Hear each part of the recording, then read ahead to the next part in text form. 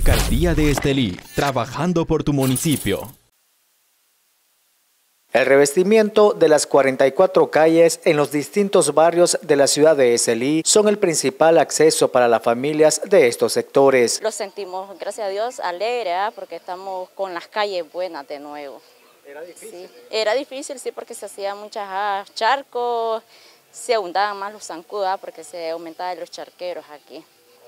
Ahora ya no, porque ya estamos en las calles buenas, gracias a Dios. Gracias al buen gobierno nicaragüense, pues este, hubo la oportunidad de haber el mejoramiento de las calles, que es de gran aporte para el transporte público. Ahora sí, gracias a Diosito, pues tenemos la oportunidad de, la mejora de calles y para seguir adelante siempre. Estas obras son acciones que permiten que los beneficiados tengan mejores condiciones al momento de caminar o circular en un vehículo. Estamos con la modalidad de revestimiento con Macadán en estos barrios del distrito número 2, en los barrios Luz y Vida, Los Ángeles, Oscar Turcio, José Santos, Zelaya.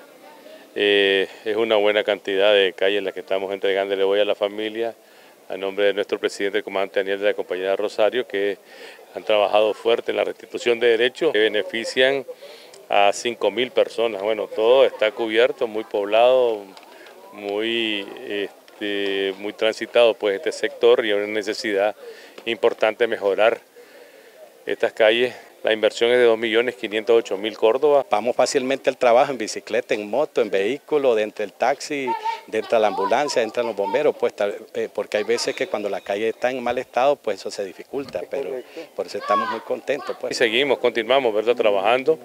En las otras modalidades hemos arrancado más adoquinados en el sector del distrito número uno para el cementerio Nuestro Señor de Esquipula, eh, el sector del barrio La Unión, eh, estamos en el barrio La Comuna. Mañana vamos a estar entregando en el sector de Miraflor eh, otro proyecto de, electrificación rural en un lugar llamado Matapalo.